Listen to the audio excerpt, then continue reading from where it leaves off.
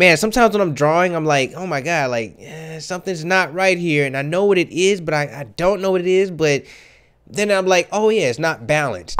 So balanced design is something I've been talking about for a while and I always tell you guys that you got to have something that's kind of legitly straight for it to be a good design but that's just kind of like what I like to see. That's my personal preference but you guys know what a balanced design is and if you guys haven't seen an unbalanced design basically if you can't really identify a shape or it's kind of like big on one side and small on the other then you're looking at something that's unbalanced and that kind of throws people off. That actually kind of turns people off because people are so used to seeing up and down and left and right and squares and circles and stuff like that they can identify with that a whole lot better than having like a circle with a diamond coming out of it or or like a straight line with something sticking out of it going towards the right you know? And it just kind of looks foreign to them looks a little awkward. So when you create these kind of like borders and stuff like that you want to think more about like what's balanced. And in many cases people like to say they want to be different and stuff like that and they want a, a different design but in all honesty, if it's gonna work out with your audience, then do it. But if it's not, then you want to stay at least balanced as possible. Now, rules are meant to be broken. Like you're not supposed to just be living by the rule book all the time.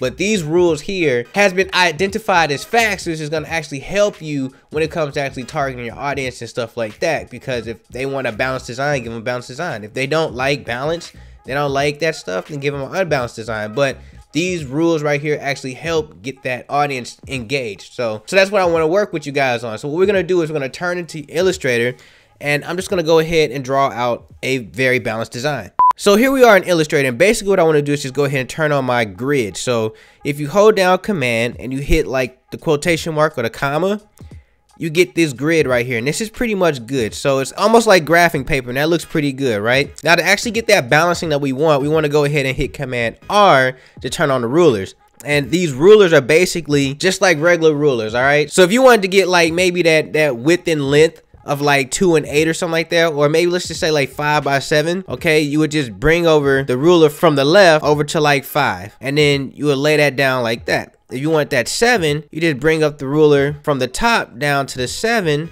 and that's what you get. So this would be a five by seven. That would be like your normal like handout flyer and stuff like that. What we are going to do is just drag out a ruler from the left side and smack this right down into the 7, which would be half of 14. And at the top, we just want to go ahead and drag out a ruler just pretty much on one and then another one at the bottom right here at 16. And these are just pretty much creating a header and a footer for our document because we don't want to be all up in the space of this right here and all up in the space of this right here, making designs that go straight to the edge of the page, just in case we want to print this out and show it to somebody as far as like our marketing department and stuff like that. This is a good way to have some clear space, all right? So now we can just go ahead and draw out some rulers again and this can be for like our borders our margins and stuff like that so we're just gonna go ahead and bring this one over to 2 and then we're gonna bring the other one over to 12 Okay, good. So now that we got that, all we got to do now is just pretty much start our design. And that's pretty simple, right? So let's get into this. So what we're to do is we're to go over here and we're to lock down this layer. As a matter of fact, before we do that, we're just to name this guys. Now I'm to create another layer real quick. And in this layer, I just want to start my actual design. So in the last T-shirt Tuesday, I showed you guys how to make shapes with the shape builder tool, all right? So what we're to do is we're to do the exact same thing. I want to draw out a square real quick that comes from the top of this, like maybe right here at 2 to 12 and I want this one to come down. And I want this to be as even as possible. So 12 on both sides 2 on both sides. It's just gonna make a straight square right now at the top of this I want to do this again except I want this to go from 4 to 10 to 13 at the bottom. So we can have like something that looks a little bit like this.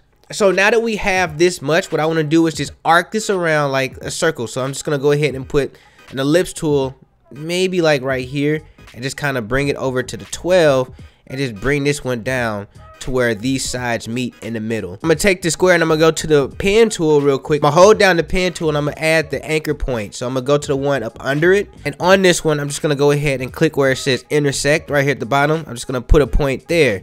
Now I'm gonna use the direct selection tool and just bring this path down. Now with the shape builder tool, just like last week, I'm just to go ahead and hold down Alt or Option and just delete out everything that I don't need. So I'm to take that. I'm to hit Command C. And then on a new layer, I'm to hit Command F. And we get something a little bit like this. So I'm to take the one that we just made. And we're gonna go ahead and scale it in. Now this looks pretty good, but there's some stroke width issues real quick. So what I'm gonna do is I'm gonna take the outside one and I'm gonna add a stroke to it.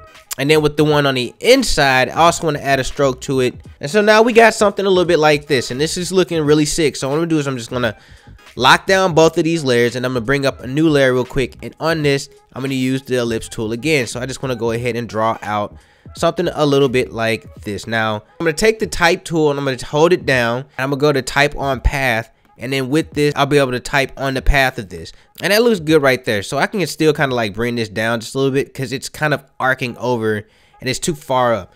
But this is something I want to show you guys because a lot of people ask me about typography and they don't get it sometimes. So when I move this bevel over, like we have to make sure that this is inside of the actual design. Like it's balanced inside of the design. You can see that this is dividing the actual design up in two. So this is half of the design and this is half of the design but if i look at it without this it looks as if it's kind of off just a little bit you know? Like something about it is just kind of leaning more towards the left than it is the right and that's because the kerning of this is not right. So what we want to do is double click inside of it hold down alt or option and just kind of push the letters out some so they're not all bunched up together. So now when i hit back on command colon and i get this you know grid back i can actually balance this in a way that looks good. So now that we got that let's just say i want to add some different stuff right here into the middle like on the sides of these you know? And then i took like i don't know a rectangle and i just put one here like this you know just no rhyme or rhythm just put one there like that as you can see, this side over here is kind of empty because it's not balanced anymore. So what I want to do is just take this box right quick, hold down Alt Option, and then we can hold Shift down with this and just kind of bring this over to the side like this. Now this is looking good and I like the way this is turning out, but when we go inside to design stuff, that's where the real problem comes in because we already got the lockup and everything but when we go inside, we want to make sure that the inside is as balanced as the outside is. So let's start designing that. I'm going to go ahead and lock down every layer and I'm putting up a new layer and this is layer 7. And in layer 7, I want to go to the polygon tool. So where it was the rectangle tool, if you click on it and you let that menu open up, you can drop down to the polygon tool. Now the polygon tool allows you to make triangles and stuff like that, shapes with corners. I want to make a triangle, so I'm going to make sure that I got a three-sided polygon. I'm going to hit OK. And I just want to make sure that this rests on top of the line. So this is not on the line.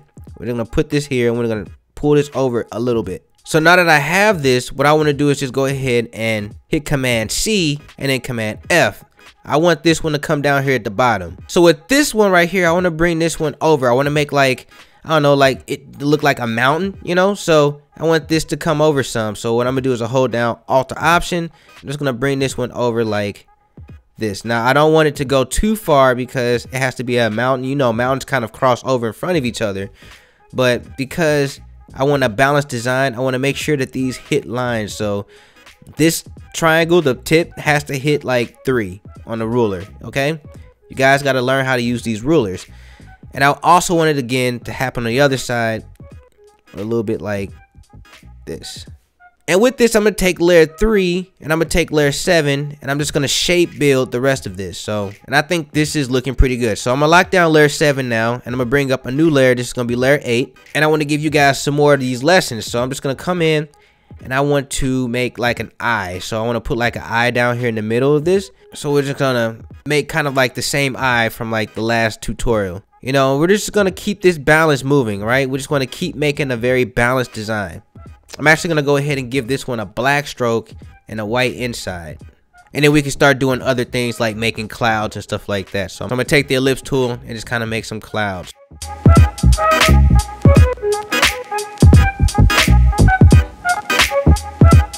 So I think this looks good for clouds. So what I want to do is just take all of this, just kind of hold down shift, select them all, go into the Pathfinder and just unite them all, right? The way that I drew this was on one side. Now we have to make sure that we can balance this to get this on the other side. So I'm gonna hold down Command C and then I'm gonna hit Command F to make that new layer, whatnot, that new path, the new copy. And I'm gonna go into Object, Transform, and Reflect. We want to pull this to the other side, and that seems pretty balanced to me. So we can just take both of these and increase the stroke some. I think it was like 15, right?